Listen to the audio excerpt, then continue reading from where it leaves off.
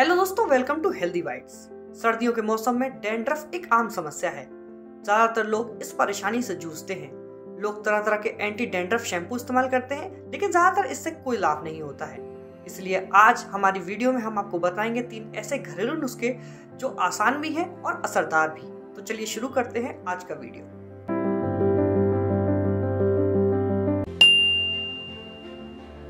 Dandruff से निजात पाने के लिए आप एलोवेरा का इस्तेमाल कर सकते हैं। एलोवेरा औषधीय गुणों से भरपूर होता है। ये एंटीबैक्टीरियल और एंटी फंगल होता है, जिसकी वजह से आप डेंड्रफ की समस्या से निजात पा सकते हैं। तो चलिए अब हम आपको बताएँगे कैसे डेंड्रफ को भगाने के लिए आप एलोवेरा का इस्तेमाल कर सकते हैं। डेंड्रफ की समस्या को दूर करने के लिए एक बाउल में एलोवेरा जेल, नींबू का रस, रोजमेरी ऑयल डालें और इसे अच्छे से मिक्स कर लें। आप इस मिश्रण को स्कैल्प और बालों की लेंथ में लगाएँ। लगाने के एक घंटे बाद बालों को वॉश कर लें। डेंड्रफ को भगाने का दूसरा उपाय है नीम। नीम भी एंटी फंगल और एंटी बैक्टीरियल होता है जो रूसी को भगाने में आपकी बेहद सहायता कर सकता है। तो चलिए अब हम आपको बताते हैं कि आप नीम का इस्तेमाल कैसे कर सकते हैं। डेंड्रफ से निजात पाने के लिए नीम का इस्तेमाल कुछ इस तरह करें। एक बाउल में नीम की पत्तियों का पेस्ट और नींबू के रस को अच्छी तरह से मिक्स कर लें। अब इस पेस्ट को अच्छी तरह से बालों में लगाएँ। आप इसे स्कैल्प के साथ साथ बालों की लेंथ में भी लगा सकते हैं। एक घंटे बाद आप बालों को किसी माइल्ड शैम्पू से वॉश कर सकते हैं।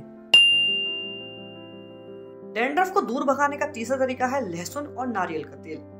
लहसुन में एंटी फंगल गुण होते हैं जो डेंड्रफ को दूर करने में आपकी काफ़ी मदद कर सकते हैं। चलिए अब हम आपको बताएँगे कि लहसुन और नारियल तेल का कैसे इस्तेमाल करें ताकि आप डेंड्रफ से निजात पा सकें। लहसुन और नारियल का तेल कुछ इस तरह से इस्तेमाल करें। लहसुन को सबसे पहले छील लें और रात भर के लिए नारियल के तेल में भिगो कर रख दें। सुबह लहसुन को तेल से निकालें और उसका पेस्ट तैयार कर लें। इस पेस्ट को तेल में मिक्स करें और इस मिश्रण को थोड़ा गर्म कर लें। अब यह मिश्रण स्कैल्प पर लगाएँ और एक घंटे तक इसे बालों में लगा रहने दें। इसके बाद आप शैम्पू कर सकते हैं। ऐसे तीन ऐसे उपाय जिससे आप डेंड्रफ से निजात पा सकते हैं। अगर आपको वीडियो पसंद आया तो लाइक करें, साथ ही हमारे चैनल को सब्सक्राइब करें। साथ ही हमें कमेंट बॉक्स में बताएँ कि आप किस हेल्थ रिलेटेड इशू के सॉल्यूशन के बारे में जानना चाहते हैं।